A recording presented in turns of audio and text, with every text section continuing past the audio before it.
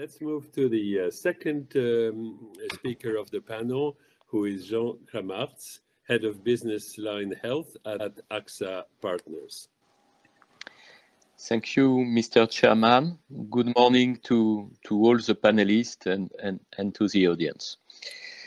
Uh, as you know, insurance is about covering for unexpected events in a predictable, measurable environment.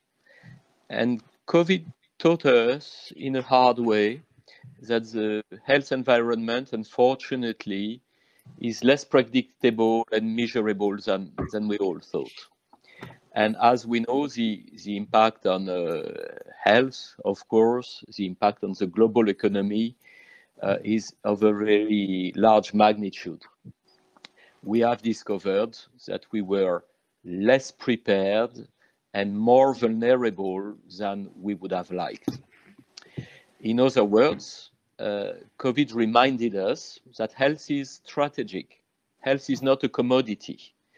And as a result, poor management of health, insufficient anticipation, wrong decisions can turn into a disaster for individuals, of course, but also Uh, for the global economy.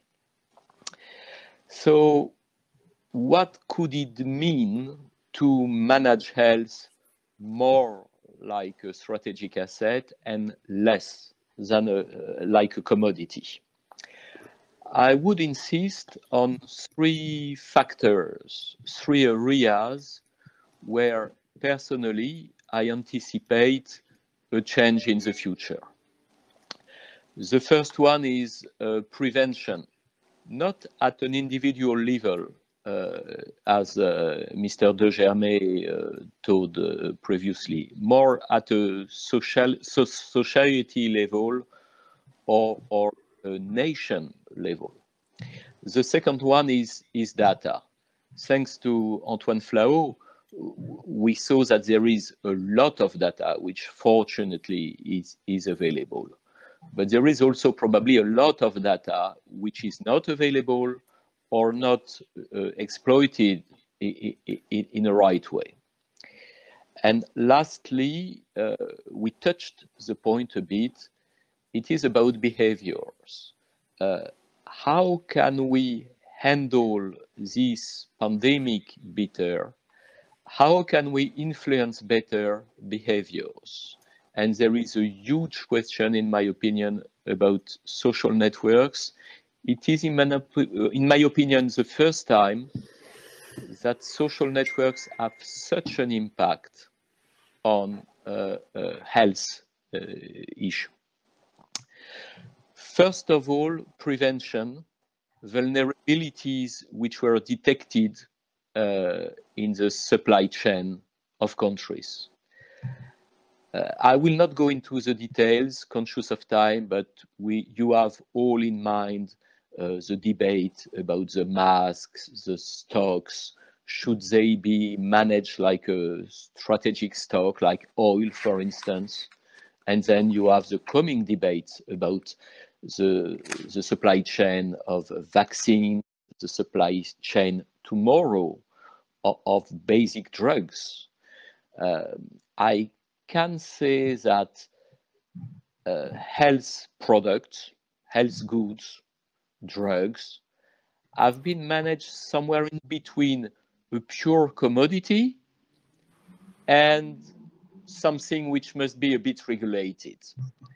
My guess is that it will be more regulated and that public opinions will no more accept or will accept less that health goods uh, are managed on the basis of free trade, on the basis that if you are a rich country, if you have money, then no problem, you will get what you need in terms of health. And we have discovered it was a little bit more uh, complex. Shall we have less free trade, more uh, health nationalism uh, to, to, to protect the supply chain? Or shall we have more international regulation, international cooperation? I don't know.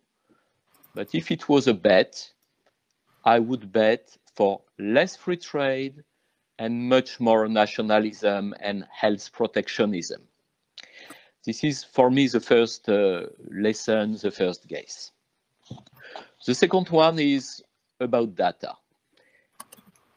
For the layman, for the man in the street, it is a bit frustrating to see that at the same time, we have a pandemic where everybody is collecting data, everybody is working, everybody is doing guesses, as we have just seen on is smoking uh, uh, protective? Uh, are the people who die essentially the older ones, like for any disease, I would say? Uh, is there something uh, about genetic or not? Uh, are such and such drug effective? Is it effective in the in, in the first days of uh, the contamination? Is this more effective when you are in the hospital? There are a lot of data. There are still a lot of questions. For doctors in the room, uh, probably there is an answer, which is to say it is the first time in history that uh, such an amount of knowledge is collected in such a, a, little number of, of months. But also there is a feeling, and, and maybe the panelist will correct me if I am wrong, is that data is not yet managed as big data. Uh, many hospitals, many countries, uh, many companies are working their data on a very individual basis. And probably much more could be shared, much more could be analyzed, but we don't have the infrastructure for that. Uh, Antoine Flahault has co quoted a list of, of drugs which are used. I must say that it is not completely clear which drug is efficient and why and, and for whom. Could we do better? I don't know. But my guess is that in the future, part of the response, part of the efficiency of the response will be about working better on the data and, and maybe creating more international, more trustworthy, uh, more, most, more bulletproof uh, data systems. Lastly, I would like to, to, to come to behaviors. And I will just focus on uh, the vaccine. They are coming. They are coming like uh, a, a relief, like the solution. And at the same time, in many countries, uh, uh you can have more than 50% of the population who says, no, I don't want a vaccine. I'm afraid of it for some good and some bad reasons. And this will not be managed with, uh, uh, let's say, coercion. This will not be managed with curfews. This will not be managed with lockdowns. This will be managed with conviction. How do we uh, better manage the public opinions without being accused of manipula manipulation? How do we handle better communication on the social networks. And this will not be only with control for forbidding some messages. This will be, in my opinion, a key lesson of COVID and a key issue for the future. How do we convince? How do we communicate better? Because this will be part of the solution. Mr. Chairman, this is what I wanted to say. Thank you very, very much. Um, you raised a number of very interesting points uh, for for the discussion. Uh, you called health a strategic asset, and I hear this as an echo to uh, Tedros's uh, statement that um, uh, health should be seen as an investment rather than a uh, an expenditure. you raised a very interesting discussion, I thought, on the fact that the public, let's call it the global public opinion, if there is such a thing, is not accepting anymore that um, medicines, vaccines would be only managed on the basis of, of, liberal free trade. And that, of course, echoes to the uh, question of common goods and, and regulation. I'm saying common goods, not public goods here. Um, and uh, you also uh, made an, an, interesting set of comments on behaviors um, and the fact that they cannot be imposed. I come from the HIV uh, world, and of course, we've seen uh, in the 80s and 90s, we learned that prevention uh, is, needs um, a responsible citizen to, to own the prevention, preventative behavior. Using condoms cannot be imposed on people.